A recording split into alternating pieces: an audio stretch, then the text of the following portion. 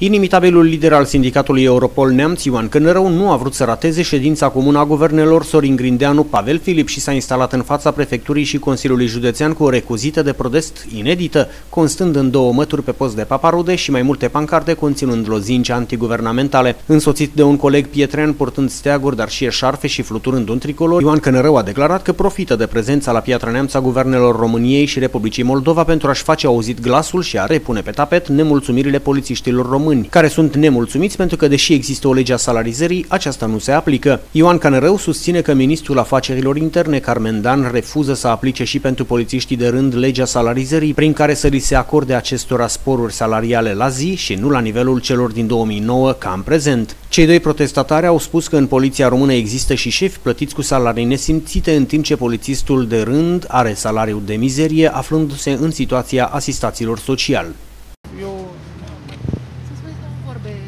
Sigur. Da, m-am, ne-am decis să protestăm astăzi în fața Consiliului Județean Neamț, să salutăm și delegația Guvernului României. Guvernanții noștri refuză să aplice hotărârea de guvern numărul 1 din 2017, cea referitoare la salariul minim pe economie și pentru polițiști. Noi suntem plătiți la nivelul anului 2009, când salariul minim atunci era de sub 600 de lei. Toate sporurile noastre se raportează la acel salariu. Nu vrem nimic în plus, nu cerșim nimic de la guvernanți, doar le spunem să respecte legea. Au emis o hotărâre de guvern și nu vor să-și respecte propria hotărâre. Polițiștii în țară sunt extrem de mulțumiți. Am profitat astăzi că e această delegație și a Guvernului României și a Guvernului Moldovei. Suntem pe trotuar într-un spațiu public, salutăm, o salutăm pe doamna ministru, Vom organiza un protest la ora 15 în fața Inspectoratului Județean de Poliție. Avem uh, avizul Comisiei de la primărie. Să știți că polițiștii sunt extrem de mulțumiți. Ministerul Muncii nu vrea să emită acea lege unică de salarizare, tot tergiversează elaborarea acestei legi. Ministerul de Finanțe spune că nu are bani pentru polițiști, nu au fost în stare să-și calculeze impactul financiar pentru acea hotărâre de guvern și pentru polițiști. În țară colegii mei protestează aplicând foarte multe avertizmente să le demonstrăm guvernanților că sunt bani. Din amenzile aplicate de polițiști anual se strâng peste 20 de milioane de euro. Noi am făcut un calcul și cam tot aici s-ar, s-ar raporta suma pentru, pentru aplicarea acestei hotărâri de guvern.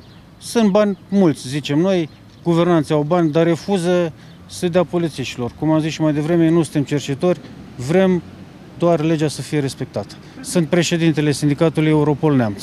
Practic, în activitatea dumneavoastră, ce vă încurcă lipsele financiare? Adică de ce vă este ce să vă zic eu, sunt polițiști în Poliția Română asistat social, sunt polițiști care o duc foarte rău, din păcate la celălalt pol sunt și polițiști care o duc extrem de bine. Avem șef în Poliția Română cu salarii grase, se vor pensiona cu pensii pe măsură și practic nu fac nimic.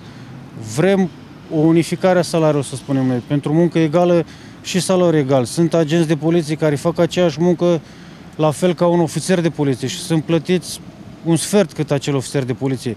Nu mai vrem să fim discriminați. Este foarte simplu. Aveți cu ce să vă faceți munca? Înțeleg că s-au mai dat. S-au mai dat, mai sunt și unele lipsuri. Acele materiale de birotică încă le mai cumpărăm noi, încă mai aducem hârtie de acasă, mai aducem și câte un calculator și câte o imprimantă, din păcate, ca să ne putem face treaba.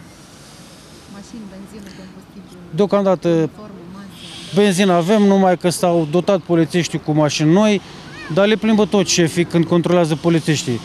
S-au primit atâtea dastere. Câte ați văzut dumneavoastră în municipiul Piatra Neamț inscripționate și patroni pe străzi? Niciunul singur măcar. Din păcate. Există și polițiști care n-au făcut cinste, inclusiv în județul Neamț. Sunt ca peste tot și uscături, dacă le putem spune așa. Niciodată n-am fost de acord cu actele de corupție. Așteptăm instanța să-și spună cuvântul, doar când va fi o sentință definitivă ne vom putea pronunța și noi asupra vreunei vinovății. Atunci militați pentru drepturile celorlalți. Eu militez pentru drepturile tuturor polițiștilor și aș vrea să vină la aceste proteste cât mai mulți polițiști, pentru că să știți, sunt toți nemulțumiți, dar unii n-au curaj să iasă în stradă pentru că șefii chiar își amenință câteodată. Liderul de sindicat spune că nu există voință politică în așa fel ca și agenții de poliție să fie retribuiți la justa valoare a muncilor și chiar le indică guvernanților sursa financiară din care să le plătească guvernul salariile, cele 20 de milioane de euro strânse de agenții de poliție din amenziile pe care le aplică. Liderul a vorbit și de nenumăratele lipsuri din poliția română și despre faptul că tot șefii se plimbă cu mașinile cu care a fost dotată poliția. La ora 15, cei doi protestatari s-au mutat în fața Inspectoratului Județean de Poliție Neamț.